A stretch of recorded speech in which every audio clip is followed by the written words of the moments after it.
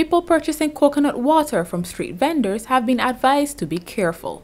This warning comes from the environmental health inspector attached to the David Thompson Health and Social Service Complex, David Nightengale. Speaking as he conducted a routine inspection of the bottling process at Mount Wilton Farm, he said registered producers adhere to strict standards. However, he said the same could not be said of some street vendors. Why he said that? Because if you look around at some of them, some of them cut coconuts without any shirt or t-shirt on. Some them pick the coconuts, bring the coconuts from where they pick, put it on the ground itself, and that ground at night, before they put the coconuts, you can have a dog passing to urinate, or a cat to urinate, or defecate, or you have the same human being like passing and spit and thing put the coconuts on the ground.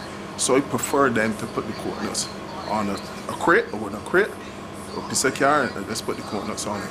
Mr. Nightengale also said some vendors practice poor personal hygiene. You can see some of them does not some of them do not, sorry, do not have any water facilities to wash their hands because if you look around they don't have any toilet facilities.